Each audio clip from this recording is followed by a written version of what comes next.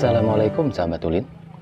Pada kesempatan ini Rudi mampir ke curug yang paling terkenal di Cimahi, yaitu Curug Cimahi atau Curug Pelangi.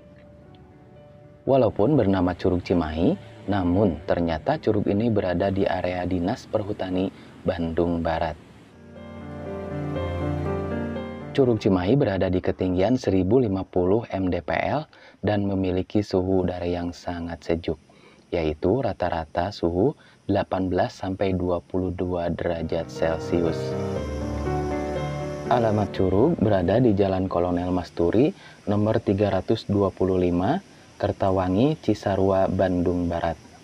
Untuk jam operasional, setiap hari pukul 7 hingga pukul 5 sore waktu Indonesia Barat dan untuk tiket masuk Rp20.000 per orang.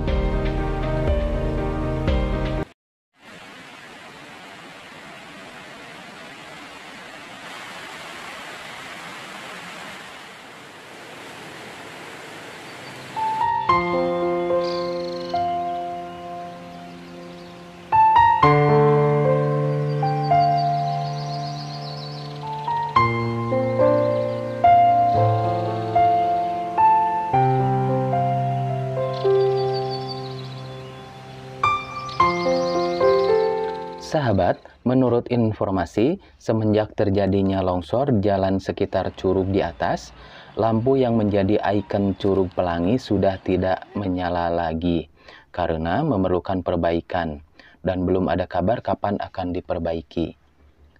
Untuk mendapatkan pemandangan air terjun yang sempurna, pengunjung harus menuruni 587 anak tangga. Pemberian nama air terjun sendiri diambil dari nama sungai yang mengalir di atasnya, yaitu Sungai Cimahi yang berhulu di danau bernama Situ Lembang. Nanti kapan-kapan ke sana ya sahabat, di mana Situ Lembang ini mengalir menuju kota Cimahi. Curug Cimahi kini sudah dikelola dengan baik di bawah Perum Perhutani Bandung Barat Perum Perhutani melakukan inovasi dengan memberikan lampu-lampu di sekitar air terjun saat petang. Lampu-lampu ini akan menyala berwarna-warni menyerupai pelangi. Itu waktu sebelum terjadi longsor ya sahabat. Sebentar lagi kita sampai nih sahabat. Seperti apa suasana di bawah sana, ikuti hingga selesai ya. Dan jangan lupa bagi sahabat yang menyukai video-video Rudi untuk dukung channel Rudi dengan cara like, komen, dan subscribe tentunya.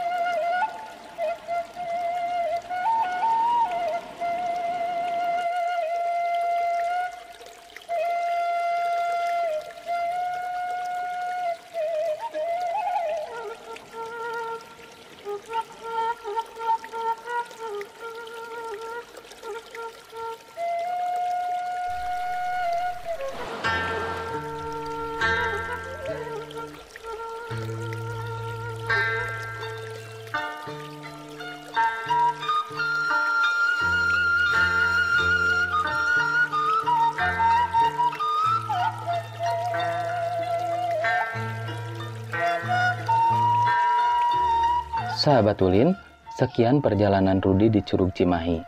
Semoga menjadi inspirasi dan bermanfaat bagi sahabat yang mencari rekomendasi tempat wisata murah sekitar Cimahi dan Bandung Barat. Terima kasih sudah bersama Rudi hari ini. Hatur nuhun. Wassalamualaikum warahmatullahi wabarakatuh.